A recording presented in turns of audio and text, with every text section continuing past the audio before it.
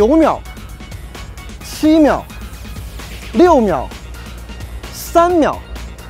每一个汽车厂家都会给自己的车辆一个标准的官方加速时间，但这并不意味着你也可以做到，或者每次都做到这样的成绩。那么，怎样才能让自己的爱车完美的起步呢？欢迎收看这一期的进阶驾驶。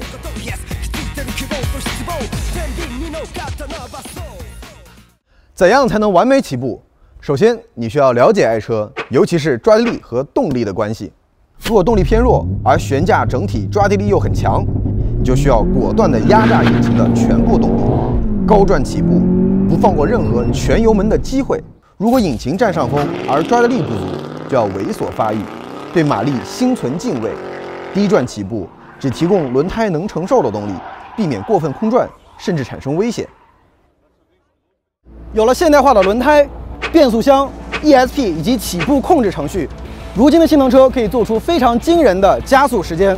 比如我身边这部 AMG GT6 3S，只需要左脚刹车到底，右脚油门到底，再松开刹车，起步控制程序就可以非常稳定的帮助你完成3.2秒的加速成绩。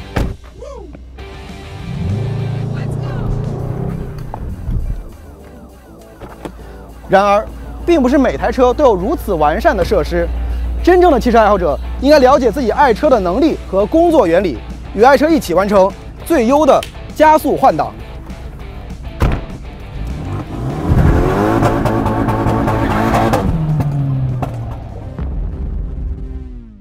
那么，为什么要换挡呢？为什么呢？这个就关乎于引擎的发力特性了。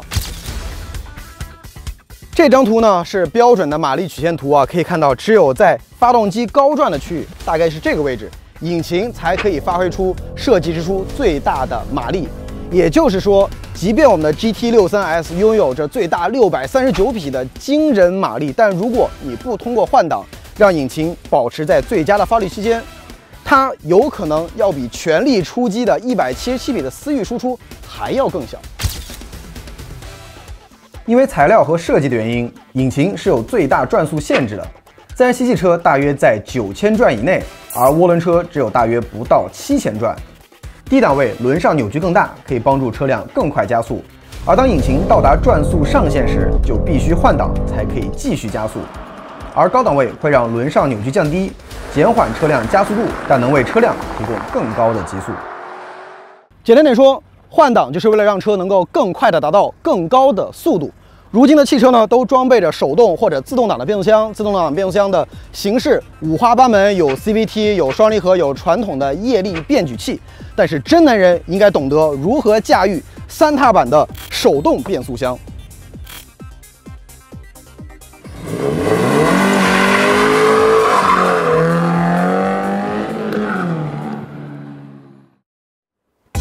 在我看来，手动挡起步有四重境界。境界一。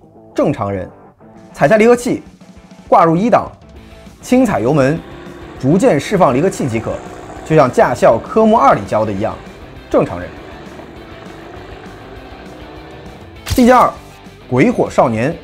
鬼火少年们对驾驶很有信心，胆子也大，全油门下去，一次性放掉所有离合器，让轮胎疯狂打滑，动静很大，但这一通操作不见得比正常人起步快。而且还可能会对传动部件造成伤害。境界三，老司机，老司机们知道一台车哪些能做，哪些不能做，踩下较多的油门，迅速但柔和地释放掉离合器，让轮胎在打滑的边缘完成加速，这就很棒了。境界四，职业车手，以下内容属于高度机密。受过训练的职业车手会用一切手段来榨取优势。在比赛起步中，我们会先给车辆上膛，就像平时的坡道起步一样。离合器进档，拉起手刹，轻踩油门，释放掉少量离合器，直到车辆即将突破制动力向前移动。在起步瞬间释放手刹，并根据抓地力情况进行油门和离合器配合，完成最为极限的弹射起步，并持续加速换挡。这种四肢并用的起步方式，减少了车手和车辆的反应时间。上膛动作去掉了传动部件的间隙，也意味着减少了起步瞬间引擎带来的冲击力。保护了传动部件，并能在起步过程中完全用到轮胎极限，同时提高加速时间上的稳定性。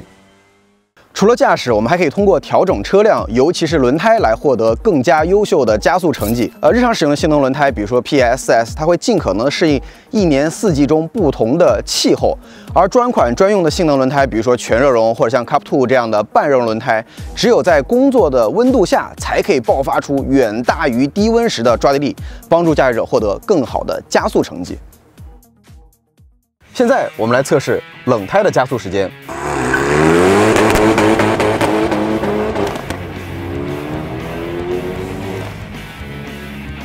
然后我们把轮胎提升到工作温度，再试一次。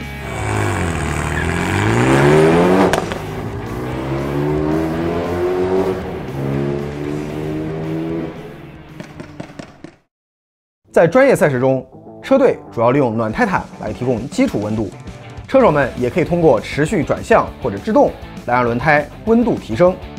在没有弯道的直线加速赛中，我们可以通过烧胎或者让驱动轮打滑的方式来加热轮胎，看起来唬人，同时还可以帮助你提高成绩。在起步之后，升档的动作就相对来说简单很多，松油门、踩离合、换挡、松离合。换挡过程中，引擎的转速会自然掉落，正好符合高档位的需求，一切都很顺畅。不过降档就有更多的讲究了，如果你的踏板操作和升档一样。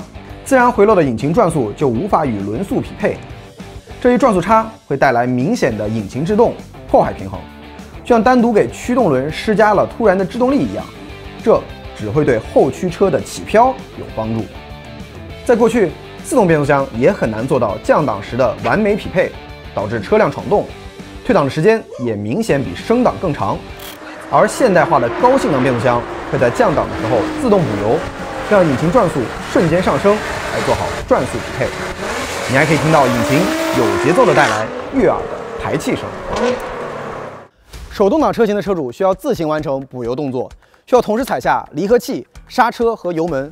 然而，没有三条腿的人类是怎样做到的呢？秘诀就在于让右脚同时干两件事情。